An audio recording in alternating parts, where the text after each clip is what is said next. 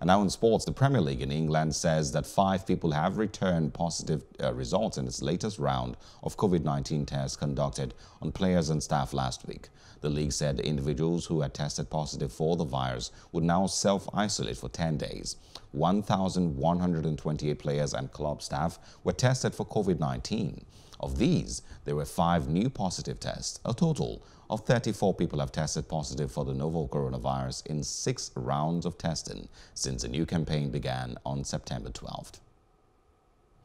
Hello, hope you enjoyed the news. Please do subscribe to our YouTube channel and don't forget to hit the notification button so you get notified about fresh news updates.